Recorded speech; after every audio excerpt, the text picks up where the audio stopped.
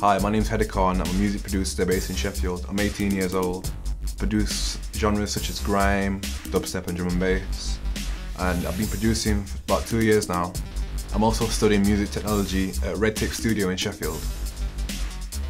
Growing up, I've listened to music all my life. Um, grew up in the 90s, so I've uh, listened to hip hop, rap, a lot of house as well, a lot of dance music.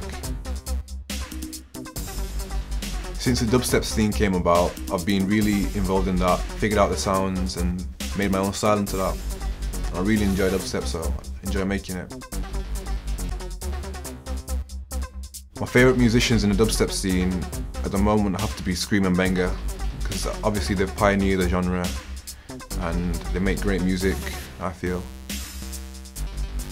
When a producer's got a unique sound, that'll attract my ears and I love hearing unique sounds. So Kromestar's got his own unique sound, Sukh Knight, obviously Rusko's got his own sound. Uh, there's loads of producers, but everyone has got a unique sound gets my rain.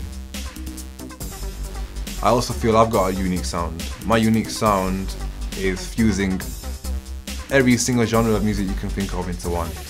And when I make tunes, I don't necessarily start off with a genre. I like to make the music itself and then figure out what genre it is.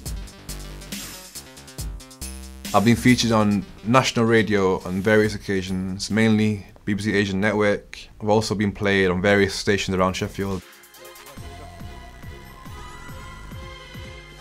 So, uh, have you got, um, oh yeah, what's this EP you've just brought out? Yeah, yeah, um, that's it, the Apocalypse EP. That's three dubstep instrumentals. It's also got the instrumental to um, Case, Lost Your Mind, which is actually voted the, uh, the best underground tune of 2010.